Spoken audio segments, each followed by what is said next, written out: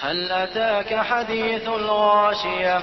وجوه يومئذ خاشعة عاملة ناصبة تصلى نارا حامية تسقى من عين آلية.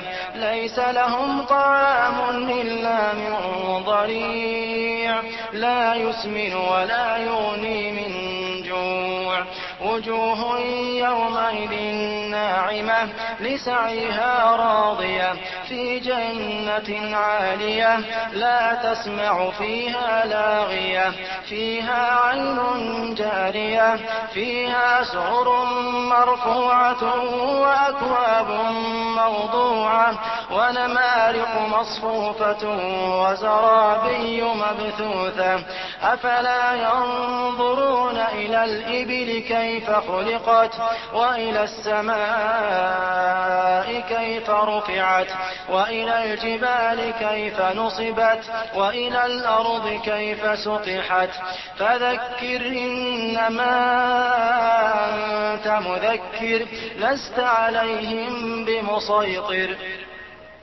إلا من تولى وكفر فيعذبه الله العذاب الأكبر.